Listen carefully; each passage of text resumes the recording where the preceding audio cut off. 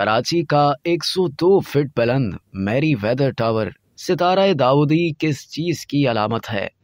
क़याम पाकिस्तान की इब्तदा में समुद्री सफ़र से वापसी पर जब आप कराची की हदूद में दाखिल होते थे तो सबसे पहले जो इमारत नज़र आती थी, वो मैरी वेदर टावर था। यह tower sir William Lockyer Merewether की याद में तामीर किया गया, जो कि अठारह से अठारह तक सिंध के कमिश्नर रहे थे। ये अठारह में सर विलियम की खदमात का एतराफ़ करते हुए तामीर किया गया। इसकी बुलंदी 102 फिट है। जबकि रकबा चवालीस मुरबा फिट पर मुश्तमिल है। इसके चारों जानब घड़ियाँ नस्ब हैं, जबकि इस पर बना सितारा डेविड स्टार या सितारा दाऊदी यहूदी मज़हब की अलामत है। कमिश्नर विलियम मैरी वेजर का नाम भी कुनिंदा है। इस टावर की बनावट में जोधपुरी लाल पत्थर का इस्तेमाल किया गया है। कराची में टावर से मुराद कराची की अहम और मरकजी शाहरा एमेजिना रोड और आई आई चंद्रीगढ़ रोड से मुतसिल शाहरा पर कायम मैरी वेदर टावर। क्याम पाकिस्तान से कबल तामीर किया गया ये टावर आज तक अपनी इसी हालत में अहम यादगार के तौर पर मौजूद है। इसी वजह से इस इलाके को टावर के नाम से जाना जाता है। टावर के इलाके को तजारती लिहाज से भी मरकजी अहमियत हासिल है। इसके अतराफ में आई आई चंद्रीगढ़ रोड पर कई तजारती तर्ज की अहम इमारतें कायम हैं, जिनमें दफातर और बैंक शामिल हैं।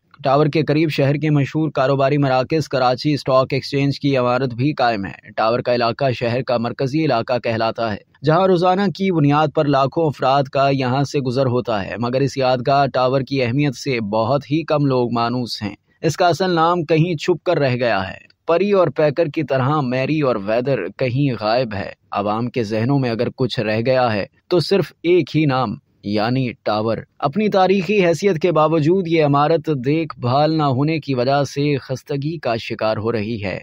अब तक के लिए इतना ही। मजीद जानने के लिए सब्सक्राइब कीजिए डेली जंग यूट्यूब चैनल और लाइक कीजिए डेली जंग फेसबुक पेज।